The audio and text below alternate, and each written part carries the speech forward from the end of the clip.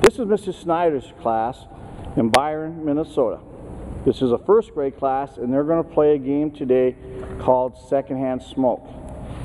In this game they learn how to avoid secondhand smoke, things that they can do, things that they can say to adults to ask them to quit smoking around them. And plus the game's just a lot of fun and good exercise, right guys? Yeah! Now, hold your frisbees up. Those people that are holding frisbees up, they are secondhand smoke in this game. And the people with jerseys on, now raise your hand, they are doctors in this game. And in the circle they're sitting at, that's the hospital. And if one of the people with the frisbee, which is secondhand smoke, touches one of these other kids, then they have to lay on their back and be brought back to the middle.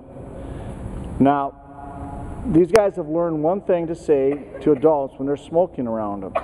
On a count of three, let's say what we say to an adult. One, two, three.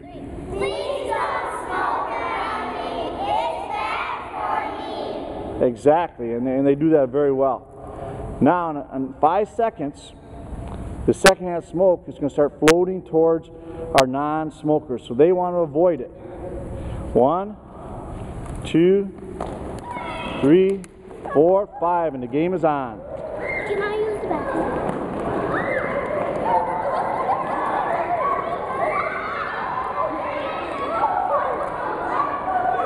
And then when smoke touches one of the players, they drag them back. They're taught to, to pull with a straight back. They pull them all the way back to the hospital. And as soon as they get in the hospital, they're back in the game.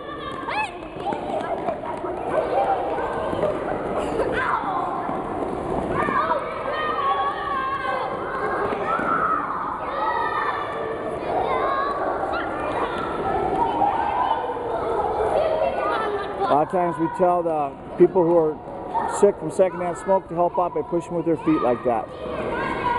Then we let them do this game, and after a while, we just we switch who the people are in different jobs. So this is the game called secondhand smoke.